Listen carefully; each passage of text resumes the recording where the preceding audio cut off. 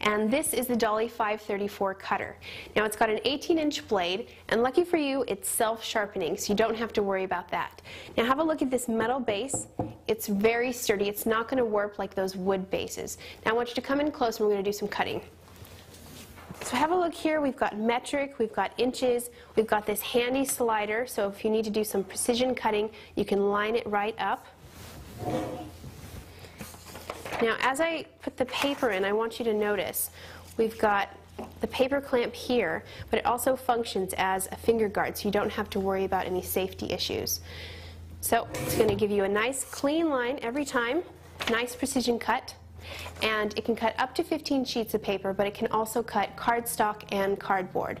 So self-sharpening blade, sturdy metal base, this is going to last you a long time. Thanks for watching.